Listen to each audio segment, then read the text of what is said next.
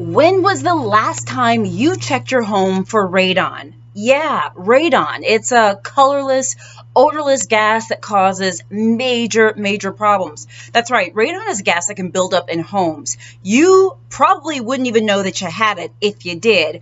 High levels of radon, however, can cause lung cancer. Guys, not just that. This is now, this statistic is probably going to blow your mind. It blows mine. Radon is the second leading cause of lung cancer in the United States. That is right. And you know what? Uh, every home should really be tested for radon because that's how you're going to know if you have levels that are too high in your home. I'm going to tell you exactly how to test for this. Guys, I'm Dr. Jen Caudle, practicing family physician. So let's keep going. So if you're wondering really where radon is from, how it gets into your home, this is according to the uh, Environmental Protection Agency. You know, radon is a radioactive gas, as I mentioned. It forms naturally when uranium, thorium, or radium, which are all radioactive metals, break down in rocks, soil, and groundwater.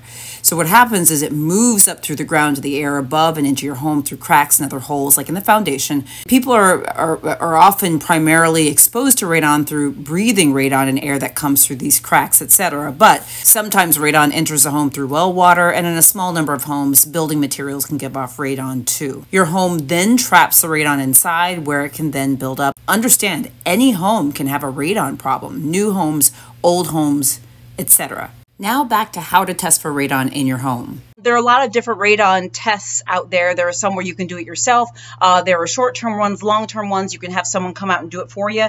Actually, uh, if you go to the website uh, lung.org, um, they actually have this is the American Lung Association. They have a section here where you can order tests kind of right on their website or through their website. By the way, uh, you can learn more about radon and just sort of see what's going on and get information. But uh, guys, this is super important check your home for radon and understand it could be damaging to your lung health. Also, I'm linking a video I did on seven ways to protect your lungs. It's the full version of this video. I'm going to link it here. If you do not see it, please message me, but take a look. I'm Dr. Jen Caudle, practicing family physician, on-air health expert, and video creator. By the way, if you have not liked and followed my page on Facebook, please do. For those of you who send stars, I respond to you personally. And for those of you on YouTube, hello.